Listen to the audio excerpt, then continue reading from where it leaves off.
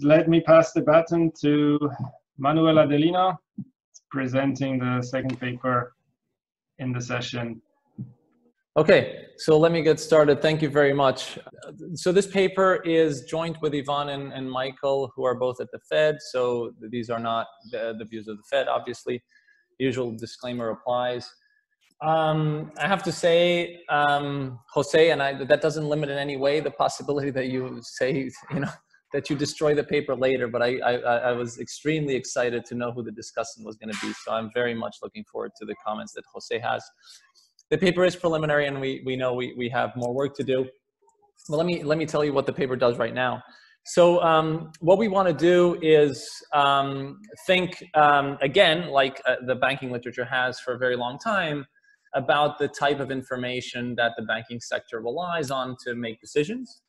And of course, um, this, this has been there for a long time. And in a recent, recent survey article, let's say, um, and Mitch sort of lay out um, what, how one should think about uh, hard information and soft information. So hard information being that information that you can easily codify and soft information is information that is harder to transmit, harder to codify, and how both kinds play into um, lending decisions and pricing decisions, which is something that we're going to be looking at in our paper. Um, so there, there have been um, very sustained advances in, in information technology um, recently. And um, I think a lot of the motivation for us to look at this is to see how big banks um, are acting right now. Uh, that's, that's how I would think about what we're doing is a snapshot of how big banks are pricing loans right now. We know that fintech lenders are, capturing market share in a number of markets. The mortgage market is one that is, that is, that is affected tremendously.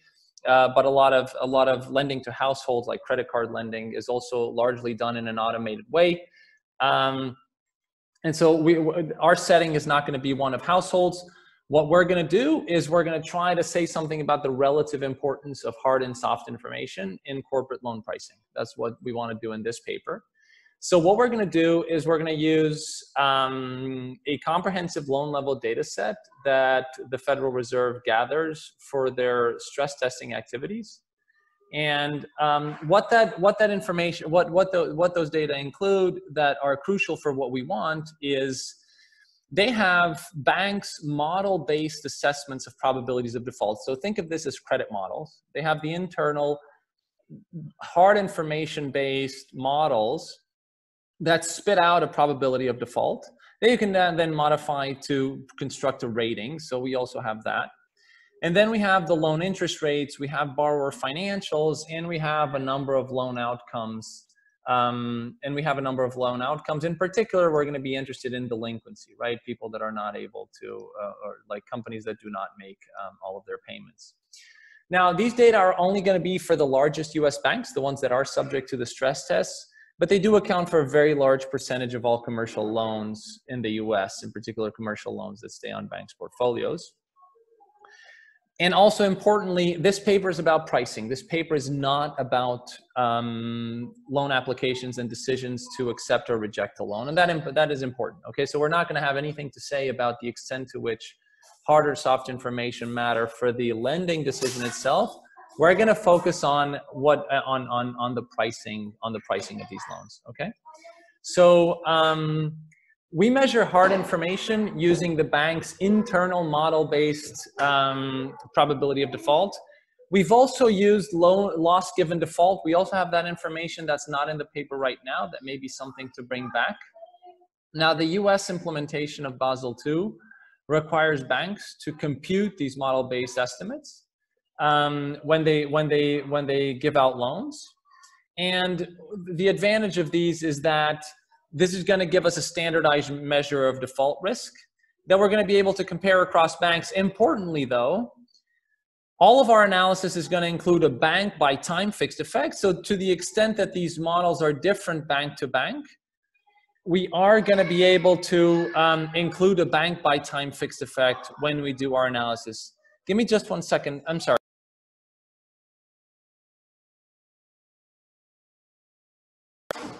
Sorry about that. The kids were running around. Um, so th- these probabilities of default are also meant to sort of give you a, um, through the cycle um, through the cycle estimates for a wide range of economic conditions. And we're not going to have a long enough time series to be able to say much about that. And at the same time, we're going to then use interest rates as the summary metric for all information that's going to be used to produce a price. Okay, so the idea over here is I'm going to have a model-based probability of default. That model-based probability of default is going to have um, that model-based probability of default is going to be based on hard information. And then we're going to have interest rates that are going to account for any other factors that are used to produce, to produce an interest rate. Um, what we find in our paper is the following. Bank loan interest rates, so first, on average, bank loan interest rates track probabilities of default very, very closely. So I'm going to show you that on average, essentially they lie on a line, okay? Bank loan interest rates and probabilities of default are just linearly related. Well, with the log probability of default are, are linearly related. There's a ton of information left though. There's a ton of variation left. And so then the question is, how does the variation in excess of what the internal models um, suggest how much information is there in saying anything that is credit relevant? Um, what we find is that the variation in interest rates in excess of what the internal models suggest provides very limited information for predicting loan default. And so in the end, what we're finding in this paper is that in bank corporate lending by these very large banks in the US, hard information accounts for essentially all of the credit relevant information if what you want to do is predict default or predict negative sales, which is what we're doing in this paper, okay? So essentially these large banks, for the purposes of pricing corporate loans, are acting as fintech lenders, at least in, in, in, for these kinds of outcomes that we're looking at, which are the credit relevant outcomes. Okay. Now, again, what are what is the data that we're using for the paper? Um, our loan level data comes from the Federal Reserve Y14Q collection. Starts in 2012. It's these data are produced for the for the purposes of of creating the stress tests.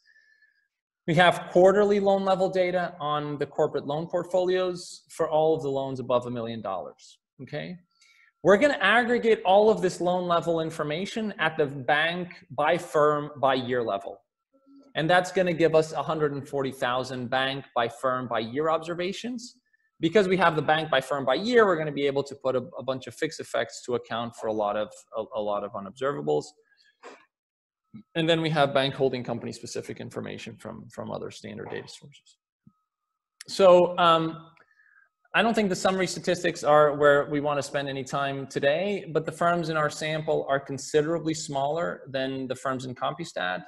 We have firms that have, you know, at, at the median are $21 million firms in terms of assets.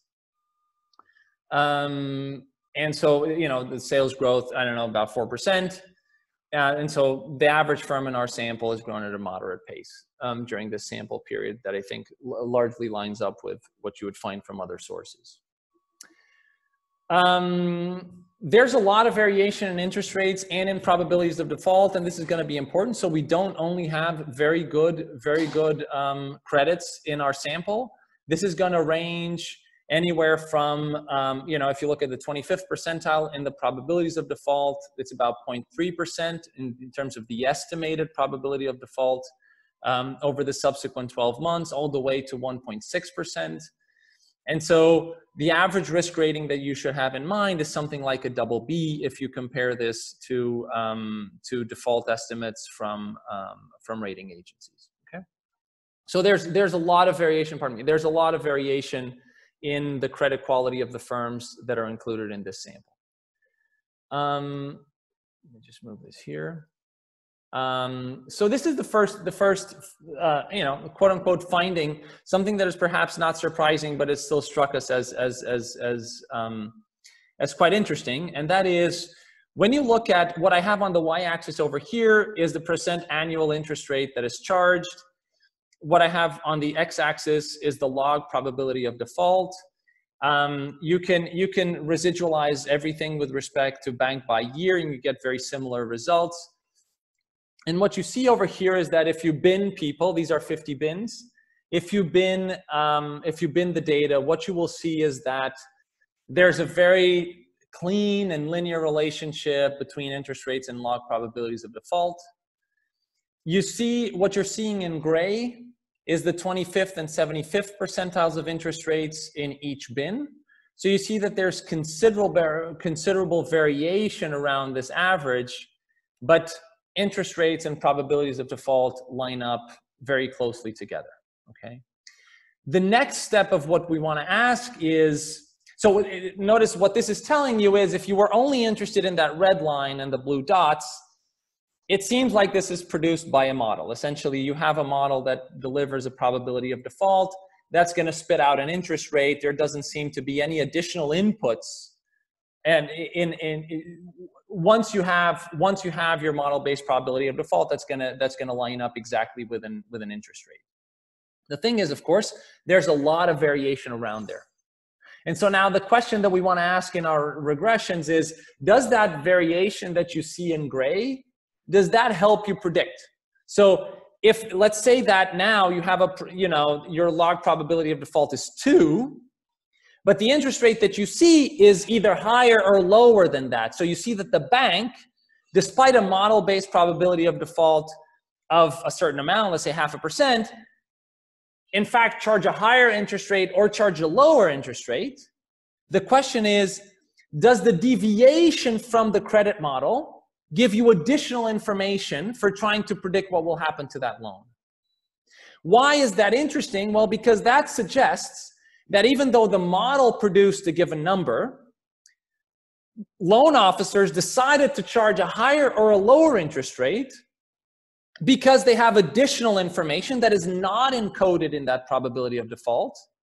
And the question is, is that additional information useful for credit relevant events? Okay this is what we're going to do with these with these regressions. We're going to try to do that within bank and year. That's this term over there, the alpha BT. We're going to try to also do that. Um, we're going to try to do that within county and year. We're going to try to do that controlling for firm um, and, and loan um, characteristics. So we're going to ask when there are changes in the probability default or changes in the interest rate, does that help? Which one so this is a horse race. Where does the information come from that helps me predict loan outcome, which in this case is going to be what we are going to show you here. What I'm going to show you here is loan delinquency, but we also include in the paper results with negative sales growth. Okay. So again, the question to, to keep in your mind is, does that variation around this line, this is the most intuitive way to think about it is, even though the model gave me a number, does the variation around that help me predict firm level outcomes?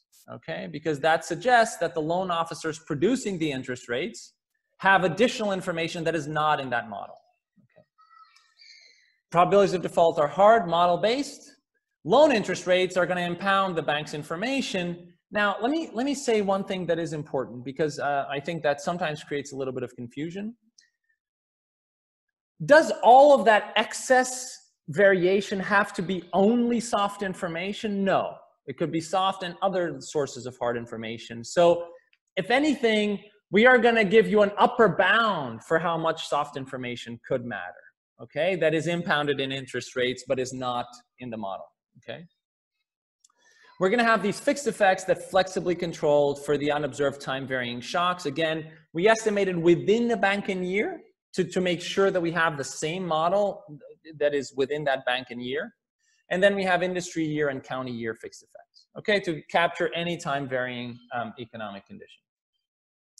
So the findings that we have is that the probability of default, a one standard deviation move in the probability of default is associated with a one percentage point higher delinquency rate, whereas variation in the interest rates, a one standard deviation change in the interest rates is still significantly related, is still significantly related with delinquency. So in these first two columns, what you see is that probability of default is not a sufficient statistic. That's another way to think about this is, is the probability of default a sufficient statistic for predicting delinquency?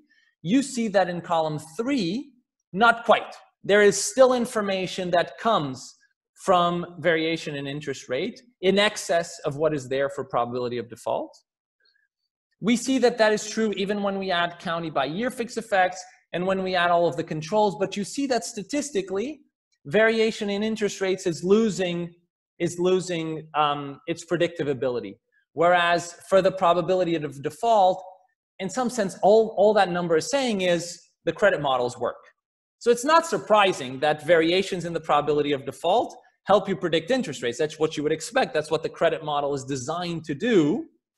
What this is telling you is there's a little bit of information in interest rates in excess of that, but not much. Okay?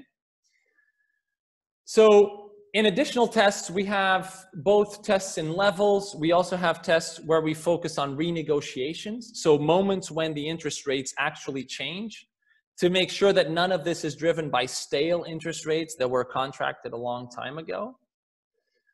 And this gives you an, an ROC analysis. This is just trying to tell you the red is the model that just has the interest rate. And what we're trying to predict over here again is delinquency.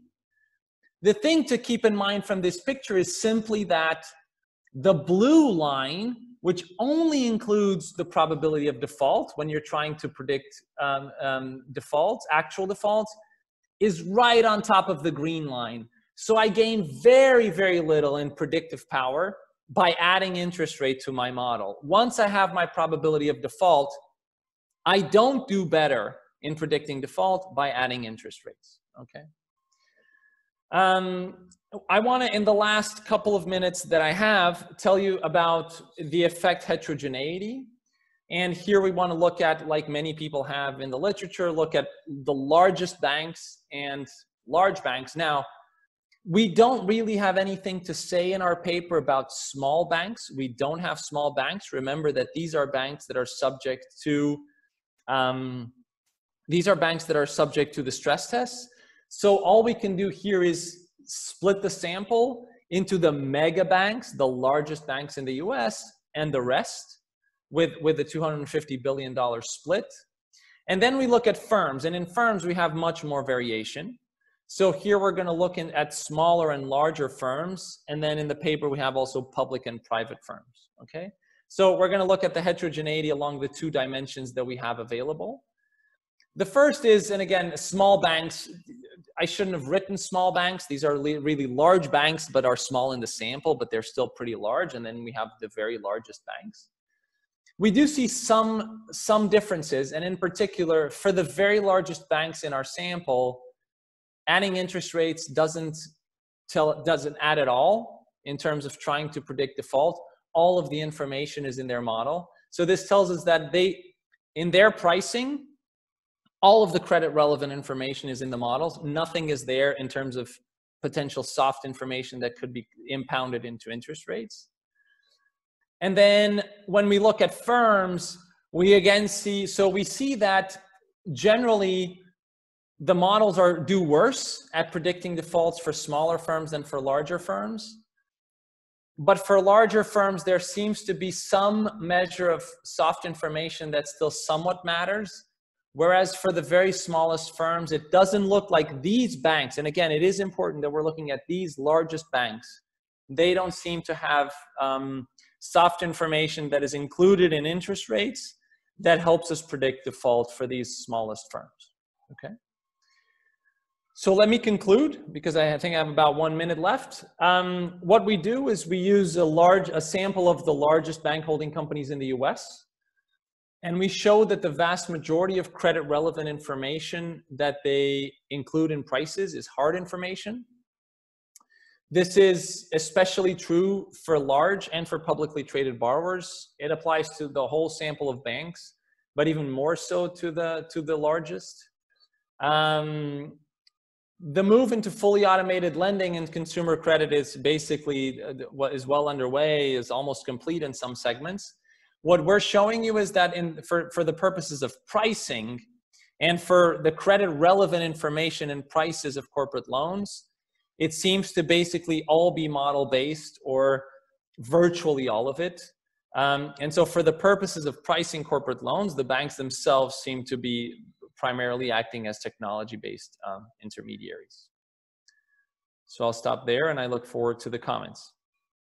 Yes, thank you very much, Manuel. And uh, please, Jose, you have 15 minutes for your discussion. Thank you very much, very much, Michal, for inviting me to discuss the paper. I think Manuel was too nice. He said that he's happy I'm discussing the paper. I think Mitchell should be discussing the paper. Uh, but uh, let me give you, so let me tell you what, like the very big picture of the paper first, what I think about the paper, and I think some of the struggles that the paper may have, and I would like the paper to be broader. And so, so far it looks like a banking paper, okay? and we need to start thinking maybe what, maybe in a like in a broader way, okay? So let me tell you like the, like the very big picture, how I see it. Okay, so it has been very well documented in the literature that finance professionals in any sort they collect and produce information, and they use it, this information in very different specific organizational settings. What Manuel and the co-authors are trying to do is, to be honest, trying to enter into the organizational design. Yes, trying to understand. Well, these are very important questions in the theory of the firm. He concentrates on this second one. Okay, and this what type of information individuals use in their decisions okay and let me write one thing sorry yeah there so they concentrate on this one yes but remember one very important thing is is information production in this case loan officers maybe due to individuals or is the information with the organization okay all these questions that many people have tried to study have been very difficult to study empirically why this is one of the problems that all these papers have. And Manuel is going to have, Manuel and the co-authors are going to have uh, like two sets of problems. One, you don't observe soft information. Soft information is going to be a conjecture. It's going to be inferred from the residual of an interest rate. And most importantly, he said it very carefully. I think it was slide 13, 14. He said, you don't observe the whole information set. Maybe there is outside hard information. So this is this unobservable. So you have two things that are unobserved. You have the soft information that you don't observe, and maybe the loan officer also what has other hard information. So the paper focuses on the information corporate of the information content of corporate loan pricing. So this is one thing that has bothered me in all the paper. Why pricing? Why we have to start thinking only about pricing? I want you to set up your ideas. These are huge banks with big borrowers. Okay? Is soft information where it matters, the interest rate? So there has all these, if you see all the literature on soft information, soft information has a lot of impacts on availability of credit. So why do we care about what? I see, why do we start thinking about, this is not one loan. Here you're talking about a maybe 200 million credit facility approval. Okay, so these are the things we are going, I'm going to try to talk about. So why only the pricing dimension? This has always been what? Since I received the paper, I started thinking, is this the right setup to try to understand soft information? Okay, so what they try to do is big picture. They they try to pierce the black box of corporate lending activities. This is what I was saying. Is this the right market to look for importance of types of information? Yes. Is this the market of relationship lending as we know it? Yes. Is there any role of discretion? Yes. And I'm going to suggest you to look at a paper, which I already discussed as well. Was it's a Janet Gao's paper from Indiana. Do loan officers impact lending decisions? This is a paper also about what? Availability of credit and interest rate in the syndicated loan market. Okay. Again, what here what they try to do is they what they try to do is uh, what Manuel tried to do is shed some light on how information production is collected and used in bank lending decisions. And the paper title, this is a little uh, of a joke, but maybe no one like again, the paper is about humans, yes, but there's no humans in the paper. There's not even loan officer fixed effects. There's no one. I don't think they have the data. Okay, if they have the data, that would be basically fantastic. Okay. So what's their main result? Let me tell you them in one line. I think my Manuel explained it super clearly. So variation in interest rates in excess of what internal models suggest provides limited information for predicting defaults. And this provides support to the idea that all information is pricing in hard information. And this is when I'm going to start thinking, let's like maybe we have to tone it down a bit. The authors claim that virtually all credit relevant information used in bank lending to corporate borrowers in the US is hard model based. we have to be very careful with these statements when only one dimension is explored. Financial contracts, maybe soft information is used for what? For covenants. Maybe soft information is used for other elements, like other elements of a financial contract. So we have to be very careful with it with policy implications. Okay? That's when I say the difficult task of the paper is going to be to set it in the, in the big picture. Where does it fit?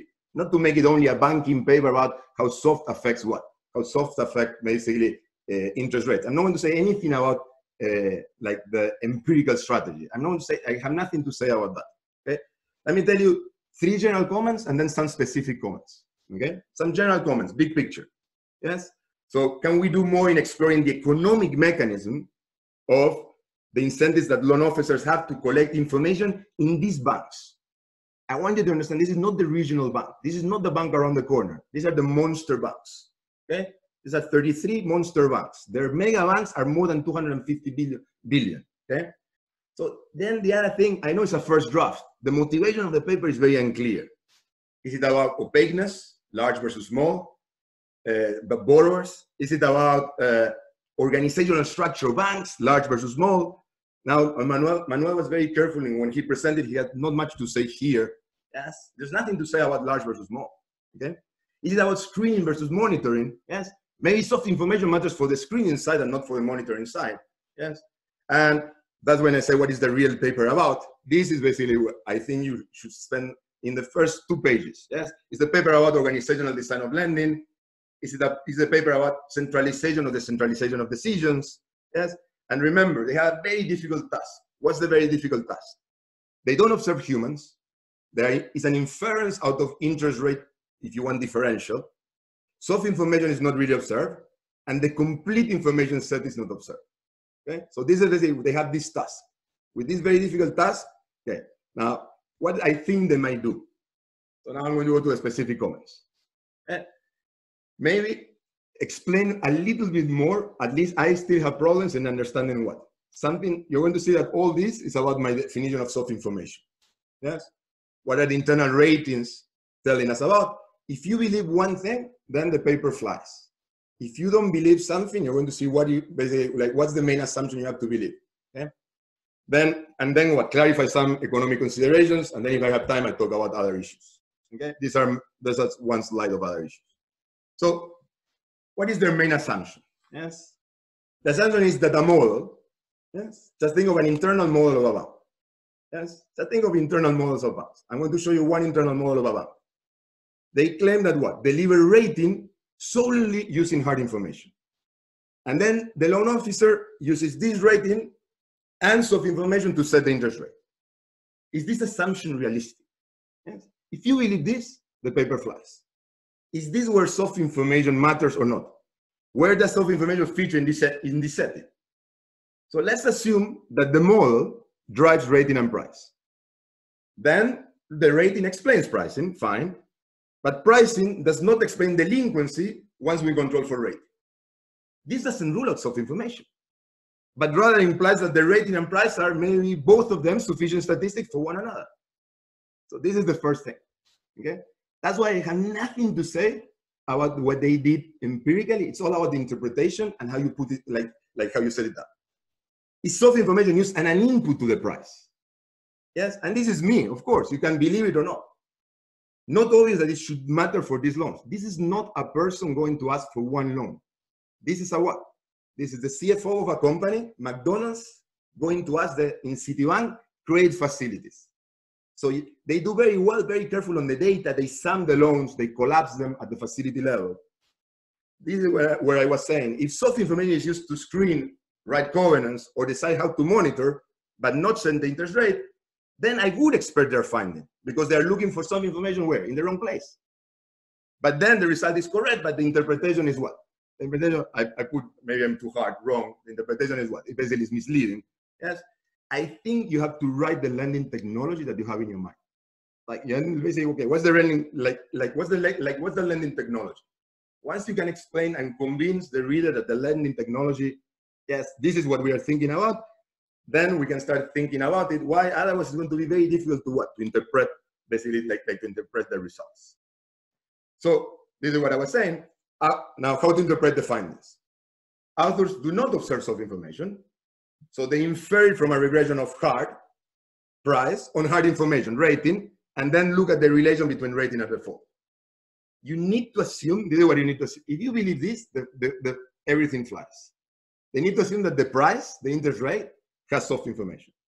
Yes? Remember, they cannot test soft information on the default. Yes? If soft information is not reflected in the price, then they cannot infer anything from running, running what? Delinquency on rating and price. Yes? And the other thing that maybe this is a cheap comment, but I have to say something about identification. At the end of the day, what they're looking is what? Is a rating precision. What is good precision? There's no counterfactual. What is basically good relative to what? What is the counterfactual? That's when you're going to see that all my next comments are trying to make you find cross-sectional or time series variation. You need to find maybe a time period where proprietary information is more important, where soft information is more important. You need some time series or cross-sectional variation. You don't have the, the cross-sectional variation on what? On banks, because all the banks are what? Are extremely what? Basically they are extremely large. Okay? So let me say one more thing about this rating. Yes, this is what I was saying. Remember their assumption. Their rating is hard information. You have, they have, I think, 33 banks, if I remember correctly. If I remember correctly. Imagine the internal model of each of these banks. Yes, and they claim ah, that's only based on hard information because that throws a probability of default. I know then they match it to the S&P. Okay, so look at so I I so I went to a, a very particular bank. Everyone knows which bank it is, I think. Yes. So you go to one bank. Yes. This is one bank. Yes. Again, not corporate lending, but it's basically what medium lending. And what do you see? This is the internal model. Yes. All this is the internal model. Yes. What I wanted to see is what Look within that internal model. There's hard information, but there's also what? Company and personal legal history, company and personal legal check-ins, uh, quality and reliance of information provided there. Okay. So again, the point we need to be very careful in and trying to understand what what is this rating model. Yes? We need to really spend time. Even what I know you construct this probability like like probability of default. Yes, but we need to be very sure that the what their their test lies on what? You have a, a model that relies on hard. Interest rate relies on hard and soft. So everything is what? If you believe that, everything flows. But you need to convince the reader on what? Okay? That is it like it like do we believe that internal models do not have what? Any input of a loan officer. Okay. So this is what this was what? This was about the rating and the model. So now let me tell you some economic considerations. Okay. So first, this is after reading the paper. This, is this the natural setting to ask this question? Yes. Again, maybe it's a cheap comment, but do we expect US corporate loans? This is inside these approvals. You have a syndicated part as well. Let's say you have a facility, you have a syndicated part of McDonald's. How much Citi has of McDonald's? Okay? Is this basically where, is this basically, I think it's much more about hard information. Accounting statements, good, trade information, collateral registries. Yes. So it's unclear the paper the reasons for similar results for large and small banks. Then when you start reading more and diving more, well, it makes sense. Why? They're only talking about what? They're talking only about very like very very big what? Basically very big borrowers. Yes. This is something I didn't understand about the data. Yes, that it would be nice maybe for you to study. So you in these stress tests you also have the individual borrowers. So these individual borrowers, yes, and they said like they, they filter them out, which makes sense to filter them out. But they have a rating as well. It would be interesting to understand, okay, how is the rating of those individual borrowers or what? Yes, good. Basically, how are they constructed? Do they have a rating? Yes. What does it mean in your data, individual borrowers? I know you basically eliminated them. Yes. Now, let me go to competition for borrowers. Yes. So assume this is something they did not explore. Maybe they don't have the data. Assume that borrowers can go to multiple banks and compete on price. Hence, the prices might all converge to the rating, hard information. So information would be used then what? Maybe to screen, to monitor, to set that covenants, but not what? But price. We just compete for what? We just compete for price. Can the authors examine single versus multiple relations? Yes. Maybe multiple relations, you can use within borrower deviation across lenders to detect proprietaries of information. Yes. Remember, it's very hard to argue about organizational design and the statements you make. Remember, it's a first draft, exploring only pricing. Why? Because there are other elements of a what? Of a financial contract where what? Where maybe soft information matters. Okay? Let me say two more things, and I think I'm going to be on time. Yes? So remember, this is very, very important, especially if you have not worked with banking data. Yes, we're very accustomed to say, ah, one loan, one loan, one loan. They don't have one loan. But these are large, these are large facilities. Yes, the average is 25 million. Yes, the 25% 3 million. Yes, again, it would be very nice to what to understand what are what are the information asymmetries that would re- economically that would require in this setup corporate lending, soft information in large banks and corporate loan market.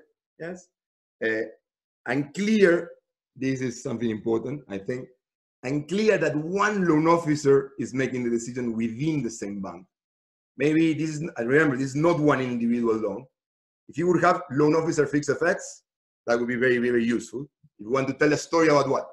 This is when the paper is very convoluted. In the, in the introduction, they talk about discretion, but there's no rule. Like, again, like it would be very nice to what? To have this loan officer fixed effects. I don't think they have that data.